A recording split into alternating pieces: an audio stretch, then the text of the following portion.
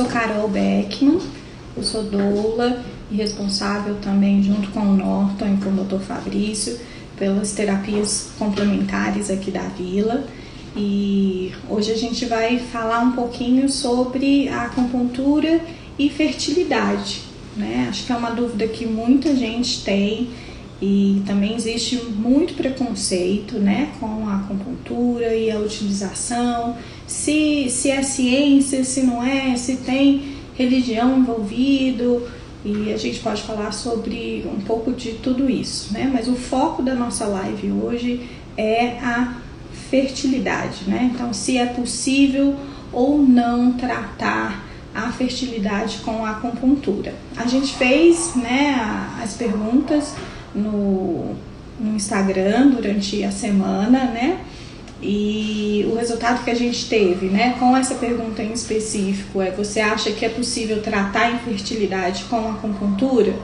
Né, 42% das pessoas disseram que é possível e 58 disseram que, olha, não sei.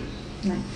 Então, eu acho muito importante a gente salientar essa questão né, no, no início da nossa conversa, que nenhum tratamento né, da nossa medicina é, ocidental deve ser interrompido para que as terapias complementares sejam usadas única e exclusivamente. Né? Então, como o nome já diz, né, são terapias complementares, e se a gente for olhar estatisticamente, né, é, a acupuntura por si só é, ela vai trazer sim resultados talvez um pouco menores do que as, os outros tratamentos para fertilidade.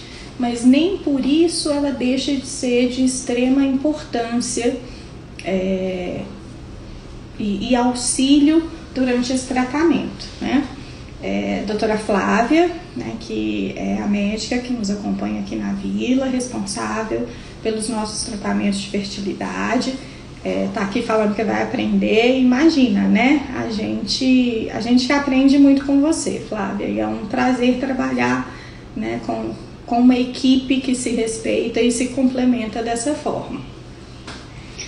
Então, ó, uma outra pergunta que a gente teve foi: você sabia que pra, para o tratamento da infertilidade da infertilidade na acupuntura. A mulher e seu parceiro realizam sessões de acupuntura em diferentes datas do ciclo menstrual. Então, isso também é outro fator que a gente encontra algumas dificuldades, né?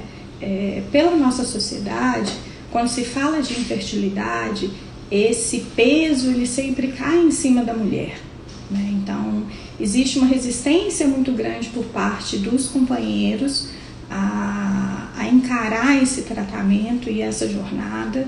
E, e, é importante deixar bem claro que quando se trata o casal, né, quando se trata de infertilidade, mesmo que seja uma infertilidade com um diagnóstico muito específico, a gente não trata só um dos dois, né? É, é de extrema necessidade que tanto o homem quanto a mulher façam parte desse tratamento, tá? Então, a acupuntura ela também é recomendada para que o homem realize, mesmo que ele não tenha nenhuma causa aparente de infertilidade. Junto com a acupuntura, outras técnicas podem devem ser usadas, né? Então, o uso da moxa, dependendo do caso, o uso dos florais de bar, da homeopatia, é, e, e outras terapias complementares também. Por que, que a gente trata a mulher né, nos diferentes ciclos?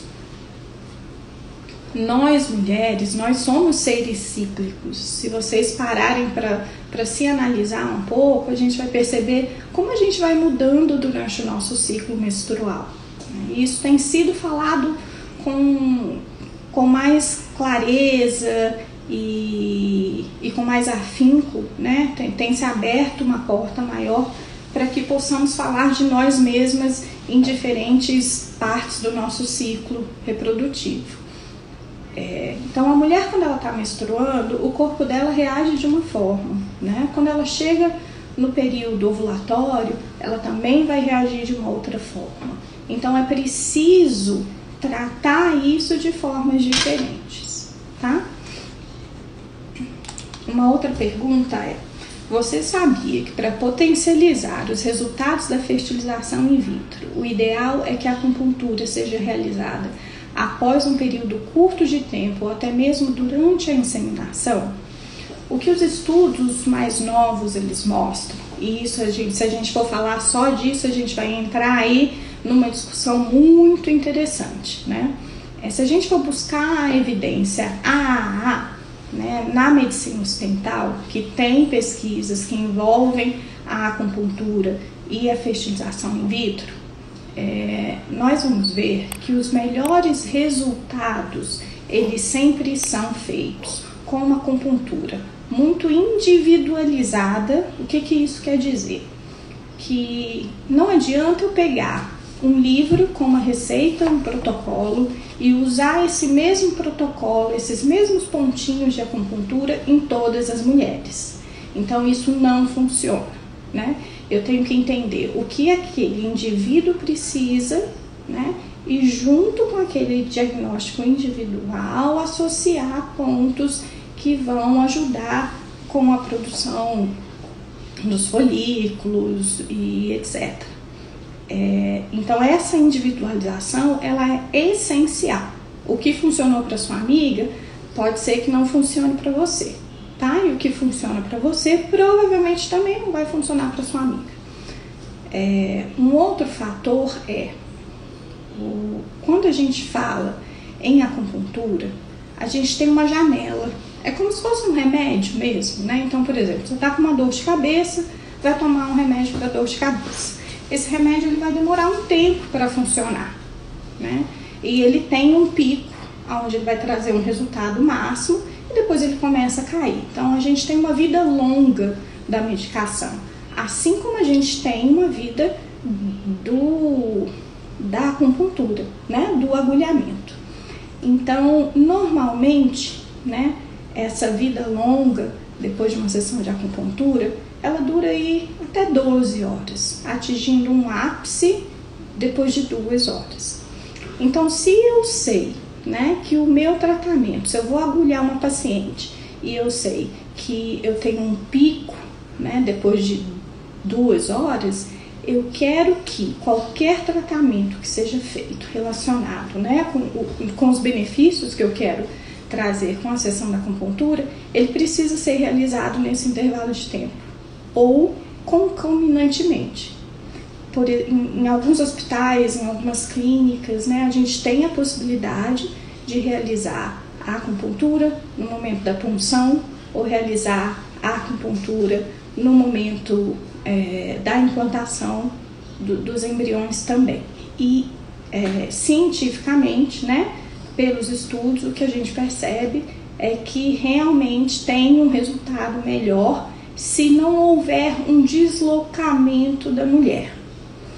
É, e aí acho que a gente pode perguntar assim, mas precisa fazer só no dia? Não, né?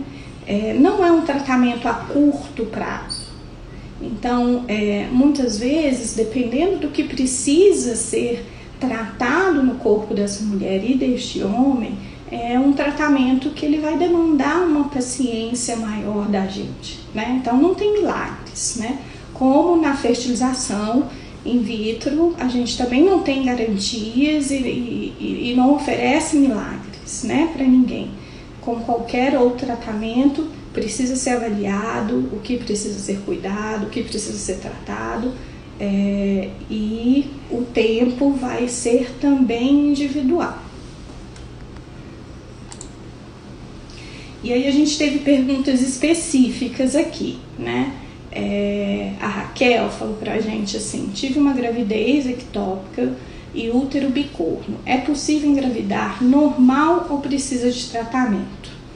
É, primeiramente, Raquel, a gente precisa avaliar você, né? É, tanto a, o nosso time de acupunturistas, né? Quanto o nosso time da reprodução in vitro a gente precisa de uma avaliação melhor para entender o que está acontecendo, é, mas né, é, é possível sim.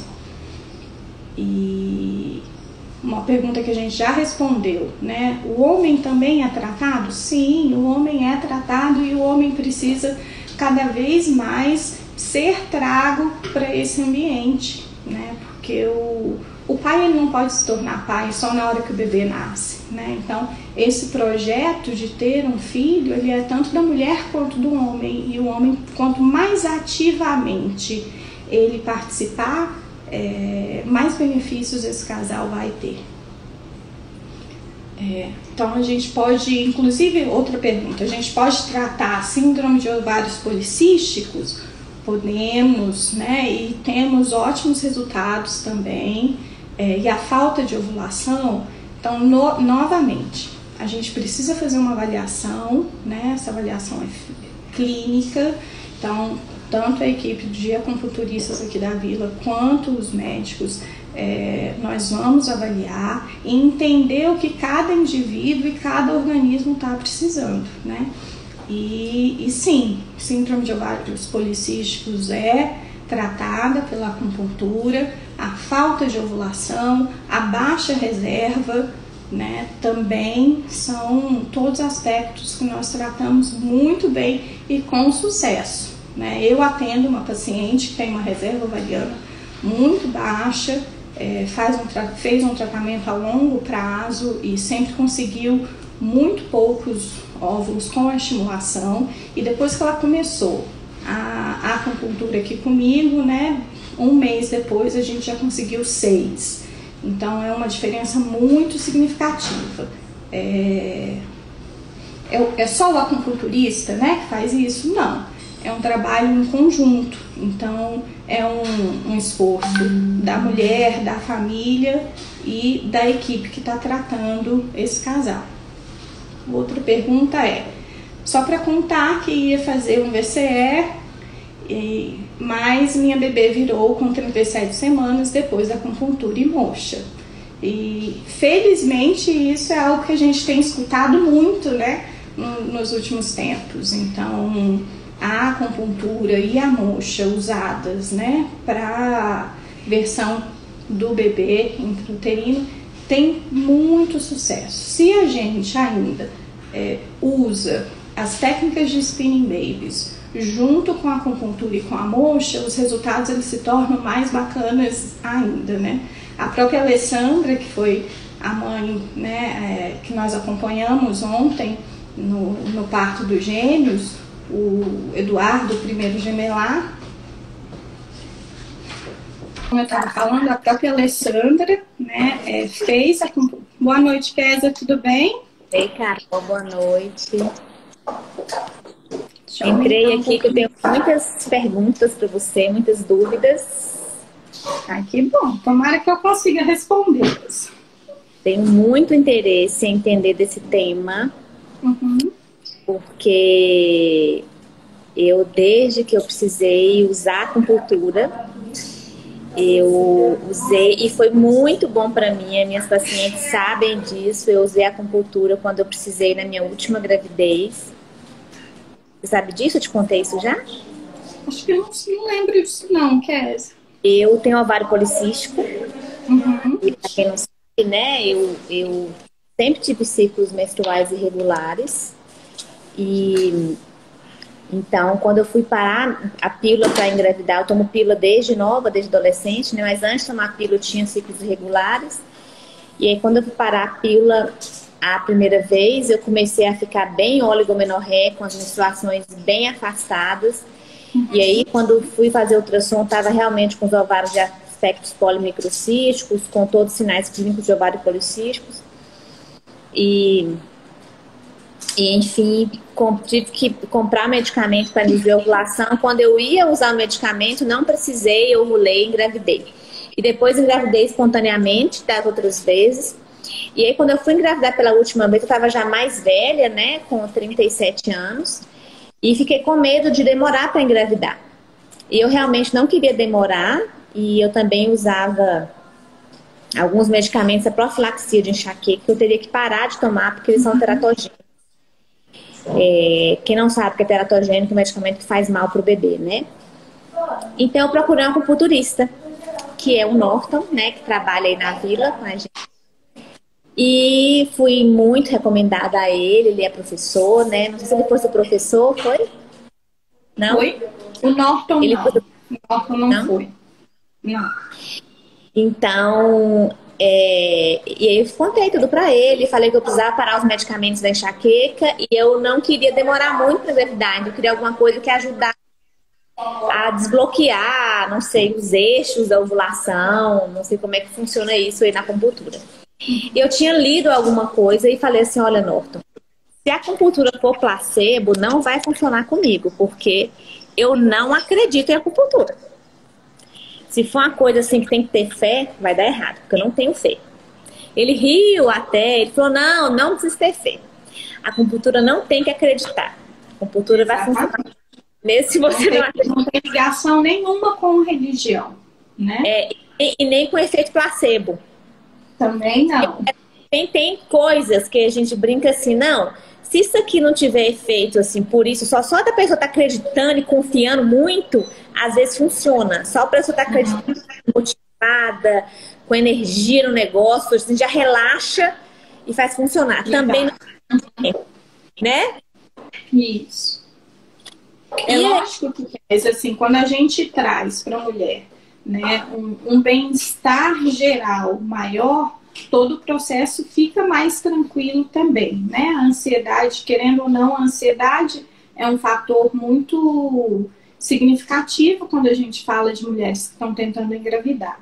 Então a gente não pode esquecer que além de tratar os sintomas, né, seja da medicina ocidental ou seja da medicina tradicional chinesa, é, a ansiedade é um sintoma que precisa ser muito bem cuidado, mas ele sozinho não faz ninguém engravidar, né? Principalmente se, se a gente estiver falando aí de um ovário policístico ou de uma baixa reserva ovariana. Então, isso precisa ser olhado de uma outra forma. Mas sempre a ansiedade, nesses casos, na maioria das vezes, ela precisa ser acolhida nesse tratamento também. Uhum. E eu queria entender melhor isso, assim. Por exemplo, uma mulher que é, sabidamente né, tem ovário policístico, ela deve é, fazer acupuntura. Né, se ela quer usar da acupuntura, né? Ela, ela deve, por exemplo, fazer acupuntura junto com o tratamento ginecológico. Ou ela, ela pode fazer primeiro a acupuntura, se não funcionar, vai para o tratamento ginecológico. Como é, como é que tem é isso, assim? É, ela, pode, ela pode tentar fazer Tem mulher que pergunta assim, ah, Kézia, eu não tô com pressa de engravidar. É, eu quero fazer uma coisa mais natural antes. Entendeu? Assim, é, o que é a evidência científica disso hoje? Quais são as chances reais de sucesso? O que, eu posso falar para mulher que me fala assim, Kézia. Eu preciso ter uma coisa natural antes, mas natural que eu falo assim. Eu queria uma coisa. É, às vezes as mulheres não querem o tratamento tradicional, né? Uhum. Dental. Com medicação. Quero medicação tradicional. Mulheres que até já fizeram no passado. Sabem ter efeitos colaterais e tal. Eu falo assim, não, eu queria fazer uma coisa diferente. É, então, assim, a gente pode dizer para essa mulher, mas, sei. Eu acho que vai depender muito né, do quadro clínico de cada mulher e do diagnóstico de cada um. Eu comecei a live falando muito sobre a importância e, e, e, o diferencial da medicina chinesa, que é tratar o indivíduo né, e suas especificidades. Então, o que funciona para um provavelmente não vai funcionar exatamente para o outro. Então, isso, isso, isso é um, uma característica muito forte da medicina tradicional chinesa e da acupuntura. Os, os diagnósticos e os tratamentos, eles são muito individuais. Então, vai depender da faixa etária da mulher, sim, do estilo de vida que ela tem, é, dos medicamentos que ela usa, quantas horas de sono. É, um fator importante, assim, que às vezes a gente brinca, né? Até quantas vezes na semana essa mulher tem uma relação sexual. Porque o excesso de relação sexual também pode causar dificuldade para engravidar, segundo a medicina chinesa. Né? Principalmente dependendo da, é, de quando esse excesso ocorre. Sabe? Então tem tem, tem muitos, é, muitos detalhes que a gente precisa analisar é, caso por caso. É, o que a linha que eu sigo, né, é, eu acho que a nossa a, a medicina tradicional chinesa está aí há muitos anos, né, é, e foi reconhecida como uma ciência, foi reconhecida como uma parte da medicina ocidental agora, né? Tem uma especialização nisso, mas a gente não pode esquecer, né, que a nossa medicina ela avançou tanto e ela ajuda, né, e cura tantas pessoas hoje em dia porque ela tem sim uma evidência científica muito forte e resultados muito fortes também. Se uma mulher com um diagnóstico, né, um, um pro, pro, pro, ai, fugiu. Prognóstico. Prognóstico, isso, obrigada. De que se pode esperar, né, e essa é a vontade da paciente, em conjunto, acho que se o, se o médico, né, se o ginecologista, se o obstetra libera, eu acho que é tranquilo. Mas em alguns casos, esse tratamento ele vai surtir mais efeito para a mulher se feito em conjunto. E quando é em conjunto, Carol, em que momento do tratamento, no caso de ovário policístico, que entra o acupunturista? É no momento do início da indução? É antes da indução da ovulação? É todo dia? É uma vez por semana? Como é que é isso? Nós vamos tratar a mulher, quer dizer, em diferentes partes do ciclo dela. Né? Então, os pontos de acupuntura que a gente vai estimular por exemplo, no, no, no período pré-menstruação, é completamente diferente do que a gente vai estimular durante a menstruação e do período ovulatório.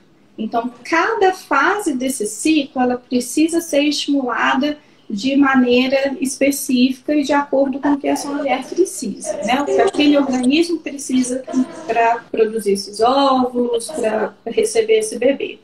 É, algumas mulheres, né, a, a, grande maioria vai precisar de sessões semanais, né, e algumas, em alguns outros casos isso vai ser feito mais de uma vez por semana. Vai depender muito da avaliação clínica dessa mulher.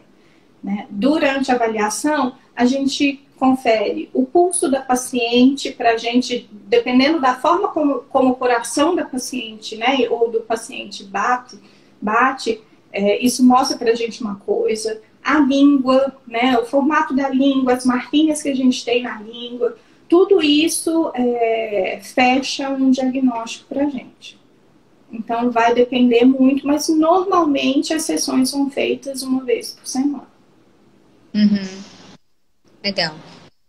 Legal. É, como eu disse, assim, é, às vezes a gente acha que ah, eu vou fazer uma FIV daqui a uma semana aí eu vou fazer uma sessão de acupuntura hoje e isso vai me ajudar. Não, não funciona assim. Né? Como eu falei antes, é um tratamento a longo prazo que precisa ir acompanhando cada etapa e entender é, o que, que causa esse ovário policístico, né? Porque a, a medicina tradicional chinesa ela busca muito o que está causando aquela deficiência, o que está causando aquela doença e aí a gente trata a causa. Então, é, por exemplo, a mulher na medicina chinesa, tradicionalmente, ela é considerada como um ser que tem uma deficiência de baço natural, né? E isso é muito importante ser tratado se essa deficiência é muito grande. Eu não consigo mudar isso de um dia para o outro, porque isso envolve, além né, dos agulhamentos, isso vai envolver é, a questão da alimentação, do estilo de vida, da atividade física. Então, isso leva um tempo. Uma sessão, uma semana antes né, de fazer a transferência, provavelmente não, não vai te trazer um resultado positivo. Então, no caso de uma mulher que vai fazer um tratamento de fertilização in vitro, né? Uhum. É, pelo que eu estou entendendo, a acupuntura ela é coadjuvante, é isso? Isso. Isso. Inclusive, a gente vai ter alguns casos, por exemplo, que a mulher vai fazer a acupuntura sozinha e ela vai engravidar só com a acupuntura? Vamos. Mas se a gente for olhar estatisticamente, isso vai ser a maior minoria, Sim. que Tá? O, o, que eu andei lendo, Carol, assim, que eu tenho conversado um pouco com a Flávia, né, que é especialista em reprodução humana e da Vila, é, é sobre realmente a, a acupuntura como tratamento coadjuvante, né? Complementar, que a gente chama. É. Complementar. Complementar, isso. E o que a gente tem conversado é sobre é, essa questão da, dos estudos científicos, né? Porque a gente está impressionado com a quantidade de evidência científica que já tem e que tem surgido é, resultados de aumento de sucesso na implantação quando você faz. Uhum. Me fala mais um pouco disso, assim. Em que momento que é feito o agulhamento? Como é que é isso que vocês falam, agulhamento pré-implantacional? Como é que é isso? Me explica um isso. pouco na verdade, quer dizer, o que eu que eu estava explicando um pouquinho antes era que como qualquer, por exemplo, uma medicação. Então, eu estou com dor de cabeça, vou tomar um remédio para essa dor de cabeça. Esse remédio ele tem um tempo para ele entrar dentro do meu organismo e ele fazer efeito, ele atinge o ápice e depois ele começa a decair, né? É, a acupuntura funciona da mesma forma. A gente tem uma vida longa dessa, dessa sessão, desse agulhamento, né? Ele atinge um ápice aí mais ou menos duas horas depois da sessão e ele vai ter seu fim aí aproximadamente 12 horas depois. É, quanto mais próximo, se a gente conseguir fazer, né, por exemplo, a transferência ou, ou a retirada, né, desses óvulos no período aí de, dois, de duas horas após né, a sessão de acupuntura, a tendência é que os resultados sejam mais positivos, sim.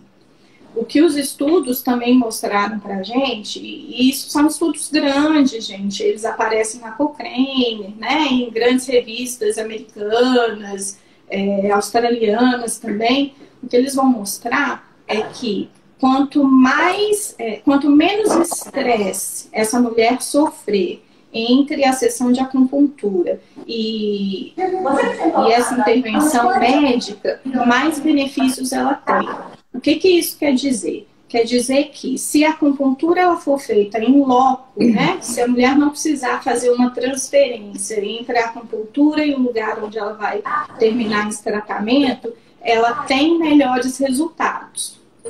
É, um outro exemplo, né? Quando, quando você vai fazer a VCE, né? a, a, indicação é que a acupuntura seja feita, né? No máximo duas horas antes, né? Então não deve passar disso, do intervalo do final da sessão de acupuntura e mocha até a realização da versão, seja no máximo de duas horas, ou que seja feito em conjunto, né?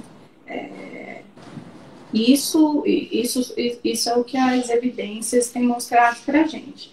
Então, além de ser algo, né, que tem, tem que seguir só, só um pouquinho aqui explicar o que é VCE, viu? Porque às vezes tem pessoas assistindo aí, gente. VCE é versão cefálica externa. É um procedimento médico que a gente faz para virar o bebê dentro da barriga da mãe, tá? Quando o bebê tá sentadinho com o bumbuzinho para baixo, a gente faz um procedimento que é, com o bebê ainda dentro da barriga, a gente vira ele, bota ele com a cabecinha para baixo, bumbuzinho para cima, para que o parto seja mais fácil, tá? E esse procedimento, a taxa de sucesso, a gente conseguir virar ele, não é 100%, tá? A média de sucesso no mundo é de 50%. Então, metade das vezes a gente não consegue virar o bebê. E aí, o que a Carol tá falando é que quando a acupuntura é feita juntamente com outra, a, a massagem que o médico faz, a taxa de sucesso aumenta, né? Então, é, a gente, eu falei coadjuvante, mas ela usou o termo complementar. Então, vai é, aumentar o sucesso se a gente faz a acupuntura ao mesmo tempo. Carol, então, próxima vez, vamos fazer? Pode, pode me chamar né? que eu faço fumaça lá, junto com você. Ótimo. Ela tá falando fumaça, gente, também às vezes as pessoas não estão entendendo. É. Vou explicar. Porque além das agulhinhas, tem uma técnica da acupuntura que chama mocha Bustão. Bostão. Uhum. Bos? Bostão. Bus. Que é, explica aí, Carol, o que, que é. Que são ervas, né, condensadas. Que pode ser tipo um. Tem, tem um aí na clínica? charuto. Tem, vou pegar.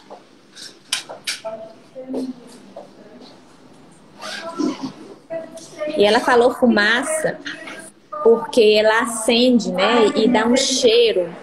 Um cheiro de. Nem sei explicar de que, que é, como se estivesse queimando folhas. E um cheiro forte, assim, sabe? De folha queimada.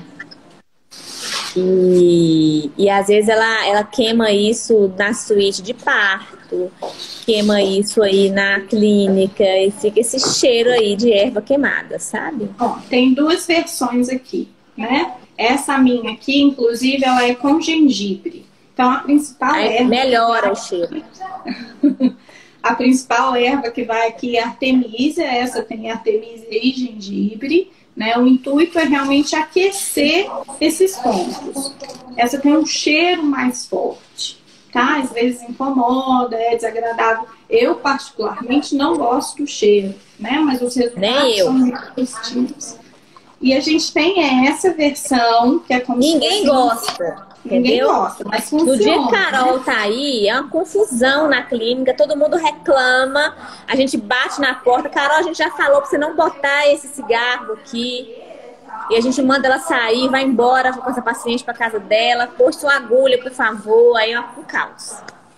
E aí a gente tem esse, que é um pouco mais suave, ele é bem suave, na verdade, é um cheirinho de incenso, né? Também funciona. Outra técnica que a gente pode usar, por exemplo, em ambientes onde a gente não pode né, ter nada queimando, alguns hospitais, né? Na verdade, a grande maioria, eles não, não gostam muito.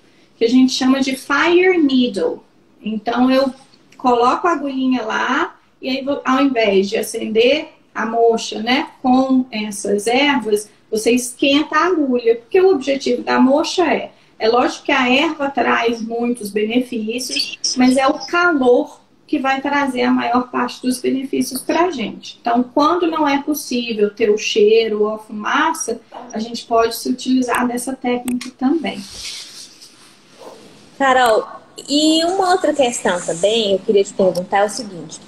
A gente tem tido muitos casos de um, de um diagnóstico que chama ESCA, ou ISCA, né? Que é a esterilidade sem causa aparente ou a infertilidade sem causa aparente. Que é uma coisa que dá muita angústia para os casais, né? Porque a pessoa fica assim, poxa, a gente não tem nada, né? E, e aí, nós vamos tratar, nós vamos fazer uma FIV, já que a gente tá com tudo normal? Como é que fica? Será que tem alguma. Como é a acupuntura? É, a gente poderia indicar um tratamento com acupuntura antes de partir para algum tratamento? Como é que fica isso?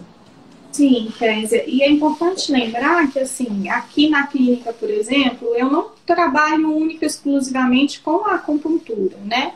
Então, por exemplo, uma paciente minha, ela vai receber o agulhamento sim, ela vai receber, às vezes, a pressão, né? Tem uma pergunta aí falando sobre é, o placebo, que às vezes é, não se faz o agulhamento, mas faz a pressão dos pontos e que isso seria um placebo.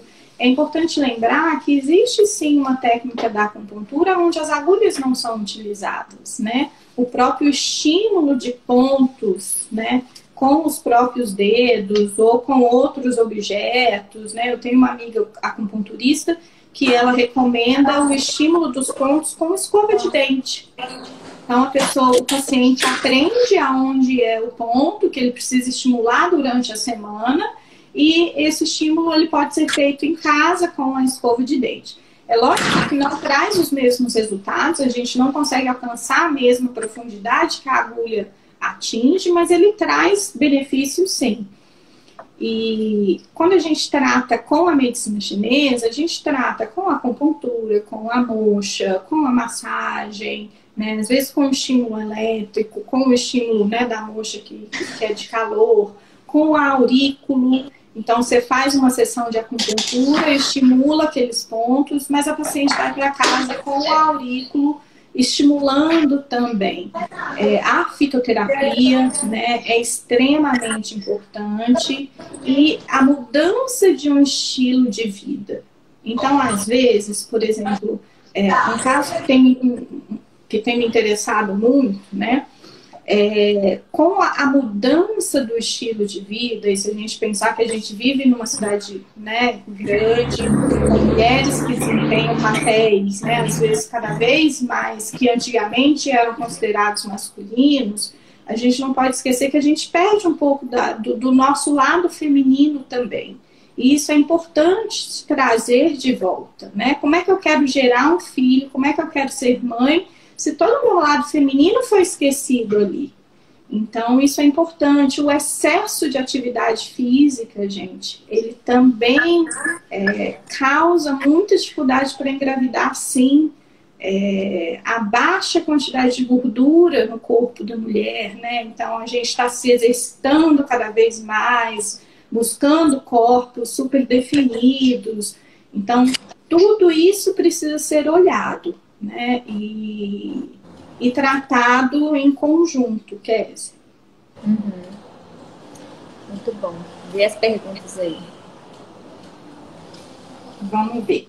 É, infertilidade masculina também é possível tratar? É, gente. É, inclusive, né, se a gente for pensar aí na base da medicina tradicional chinesa, infelizmente, nos textos clássicos, a mulher ela, ela não é muito tratada, né? Porque a acupuntura ela vem aí para tratar dos imperadores, né? Então o homem ele tem um, papel muito importante ali. Inclusive nos textos clássicos, a idade reprodutiva da mulher, né, é quando a mulher deixa de existir ali, depois que ela para de, de reproduzir, lá tradicionalmente é como a mulher se a mulher não existisse mais e o homem ele continua ele como se né um reprodutor por mais tempo. Então é possível sim e, tem ótimos resultados também. É, então aqui ó parir no Brasil está falando para gente assim como a acupuntura funciona então fisiologicamente como um ponto no pé influencia a produção de ocitocina no cérebro. Na verdade, Pari, no Brasil, é, não é um ponto no pé que vai influenciar, única e exclusivamente, vai influenciar a produção de ocitocina no cérebro. O que, talvez o que você o que você esteja falando é que existe um ponto no dedinho do pé, né, que se fala muito, que, que ele ajuda no parto, ele ajuda para virar o bebê, né, mas não é ele exclusivamente, né, é um conjunto de pontos. Para a acupuntura, o que a gente tem são canais de energia que circulam pelo corpo. Ah, mas é energia mística? Não, gente, é energia Igual a gente não toma vitamina para melhorar o nosso ânimo, a nossa vontade de fazer as coisas, né? É esse tipo de energia. Então não tem nada a ver com, é, com misticismo, né? É, do mesmo jeito que a medicina ocidental enxerga o corpo com vasos né, e artérias circulando, a acupuntura, né, a medicina tradicional chinesa, vai enxergar esses canais energéticos levando energia, fluidos é, e, e, etc. de um lugar ao outro. Na hora que eu bloqueio esse canal, né, esse, essa energia, esse fluido, ele deixa de transitar livremente e deixa de nutrir um outro órgão e etc. Tá? Mas não é um pontinho no dedo do pé que vai fazer o neném nascer. É um conjunto né, de, de pontos harmonizados que vai ajudar em toda a sua vida. É, se a gente pensar, então, com a cabeça ocidental, não é simplesmente tomar um remédio para induzir a ovulação que vai te fazer engravidar, né? Então, tem, tem outros aspectos. Se o seu corpo está está em desequilíbrio, né, tudo vai se tornar mais difícil. E o que a medicina tradicional chinesa ela propõe para a gente é um equilíbrio entre todas as características, entre o feminino, entre o masculino, entre o calor, entre o frio e etc. Então é equilíbrio.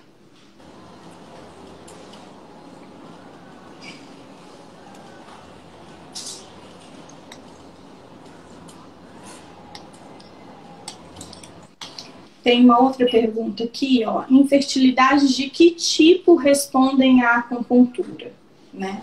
É, diferentes tipos de infertilidade com diferentes causas. Mais uma vez, assim, a análise do, da mulher e do casal precisa ser feita para descobrir né, se existe uma causa é, real e aparente, ou se não, né, se é como a a Kézia falou, né? É isca, Kézia, que fala? Isca ou esca. Agora é importante que o casal já chegue no acupunturista com o diagnóstico, né, Carol? Isso. A Carol não vai dar diagnóstico, não, não. gente. Assim, não pode chegar lá assim, ô oh, acupunturista, eu trouxe aqui meu ultrassom, é... ou então assim, ah, tô tentando engravidar aqui há um ano. E aí, que exame você vai pedir? Ela não vai pedir esterossalpingografia, ultrassom é, é, FSH. Não, você tem que chegar lá assim, olha, já fui no ginecologista, o diagnóstico é tal. Vou tratar sim, entendeu? E, e, e na verdade, uma coisa muito importante, a, a acupunturista tem que estar tá num laço estreito com o infertileuta, tá? Aí na vila a gente trabalha estreitamente a equipe de acupunturistas, que é a Carol e o Norton, com os ginecologistas. Quando tem um tratamento de indução da ovulação, ou de fertilização in vitro, ou de inseminação, a gente. O, o, o, é a equipe que trabalha junto. Né, Carol? Não existe uma coisa assim, ah, é, eu, eu, eu tô tentando engravidar, vou fazer uma acupuntura aí. É muito importante que a mulher entenda, gente, que tem que ter um diagnóstico. Você pode estar perdendo tempo de tratamento, né? Não perca tempo, gente. A gente, eu fico muito preocupada, assim, porque a gente vê muitas mulheres perdendo o time, o time do tratamento. A gente está envelhecendo e perdendo tempo de ter nossos filhos. A gente, infelizmente, a gente, a gente perde tempo a gente passa o tempo e depois a gente não consegue mais ter com os nossos ovos. Não é que não consegue, consegue. Com ovo doação, com, com, com ovos doador. Mas não é nosso material genético. Isso eu explico muito para os pacientes, né? Então não perca o tempo, se, é, é, é, se informe. Não estou querendo assustar ninguém, mas muitas vezes ter esse aconselhamento, ter uma avaliação da fertilidade, né, Carol? Ter uma avaliação da reserva ovariana. Isso é muito importante. Hoje eu estava com uma paciente que infelizmente teve uma perda gestacional, a gente estava ali no hospital fazendo o processo de indução do embriãozinho e do, do, do, do esvaziamento uterino. E aí ela falou assim, ah, Késia, como é que nós vamos fazer? Eu falei, nós não vamos esperar, né? Ela, pois é, eu já sei que minha reserva ovariana é baixa. Então, olha que coisa assim, né? ela, ela já tinha feito a reserva ovariana anterior, por isso que ela decidiu engravidar logo. A paciente que está comigo há muito tempo, né? Resolveu fazer uma, avaliação de reserva ovariana, viu que a reserva ovariana era baixa, por isso partiu para sua gravidez, parou de aguardar. Né? Então, assim, acho que uma mulher bem informada, mas tem plano, ah, quero passar no concurso, quero fazer doutorado, quero fazer uma viagem. Cancela, vamos para a gravidez, gente, vamos priorizar o que eu tenho aqui. Né? Às vezes tem uma perda, tem um aborto, vamos investigar. Quer dizer, às vezes ela não ia investigar esse aborto agora, porque era o primeiro, mas a gente decide investigar porque é, ela não tem muito tempo para ficar tendo mais abortos. A da mais velha, a tua reserva ovariana baixa. Então, a gente tem que individualizar cada caso. Então, assim, eu não tenho tempo para fazer duas filhas, três filhos, eu tô velha. Desculpa eu falar esse termo velha, tá, gente? Eu sei que isso pode magoar as pessoas, me desculpem. Mas às vezes a gente não tem tempo, então se eu puder associar uma FIV já com a acupuntura, eu tô ganhando tempo, eu tô, eu tô, tô deixando de perder tempo nesse tratamento. Então, hoje, felizmente, a gente tem mais recursos para otimizar. Então, o que a gente faz aí na vila é tentar agregar tratamentos de qualidade com evidência científica, né? E com profissionais com esse carinho, com esse amor, com essa dedicação, que estão aí estudando, a Carol sempre estudando, trazendo né, é, sempre inovação, né? Renata Abreu, Renata, a gente também te ama. Renata falando ali, por isso que nós amamos a vida, a gente também te ama. Hoje, hoje eu ouvi um, um depoimento tão lindo, Carol. Essa paciente teve essa perda. Uhum.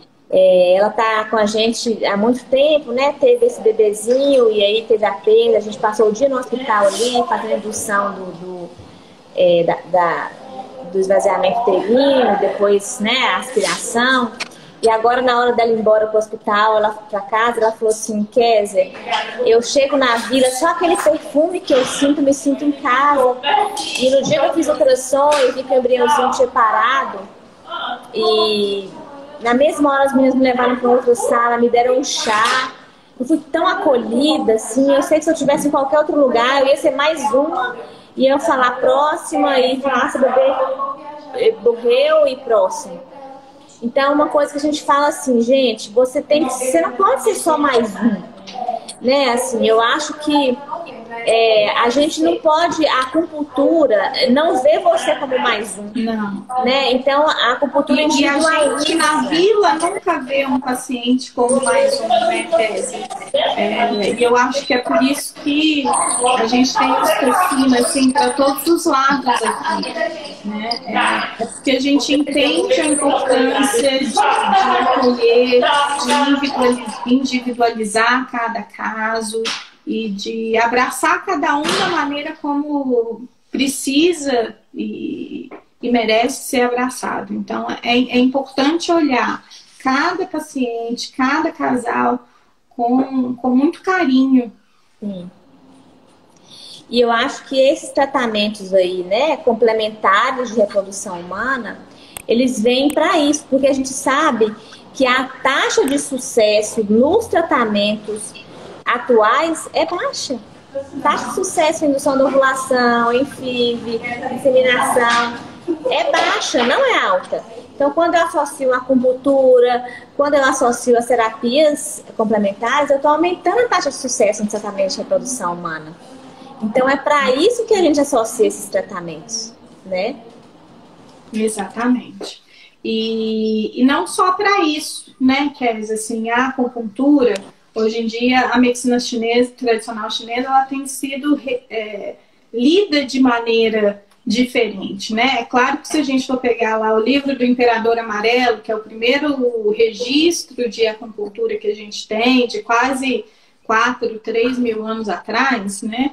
É, ele não vai falar, por exemplo, de DNA, ele não vai falar de, de fertilização, mas os estudiosos, né, relendo tudo isso, fazendo uma, uma nova releitura, a gente consegue entender que existem sim alguns pontos que, quando estimulados, eles tendem a, a ajudar muito nesse material genético, nesse óvulo que está sendo preparado, no espermatozoide, é, a trabalhar o útero para receber esse embrião. Hoje, antes da live, eu estava conversando com o Norton e a gente falando de, de pontos específicos, discutindo casos de pacientes.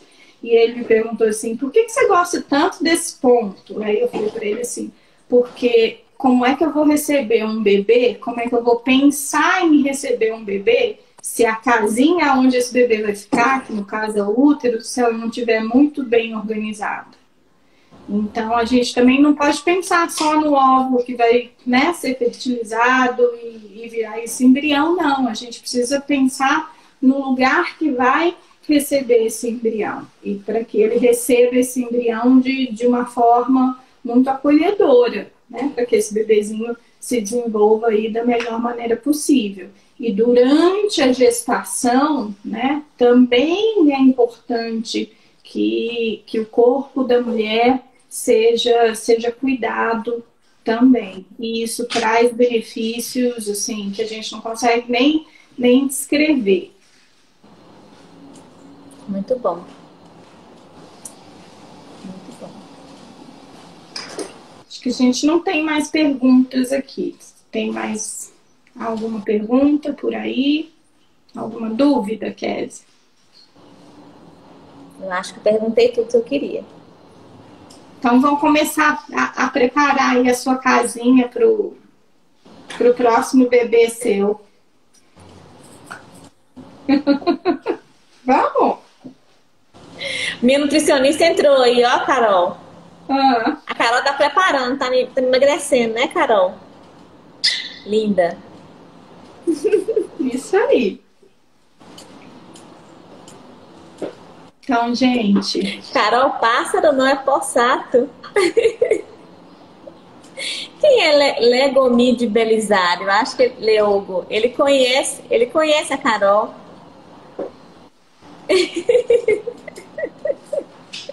Isaac.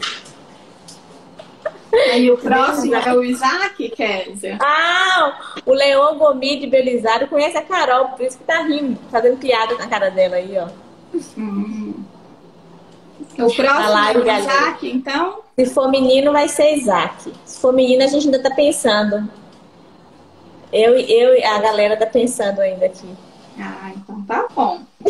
Aí daqui a pouco, então, então vocês já sabem que o próximo post que aparecer assim, quem é a mais nova grávida da vila, e a gente já sabe, ó, não tem nem mistério mais, Kézia. Aí não tem graça, ué. Já contou.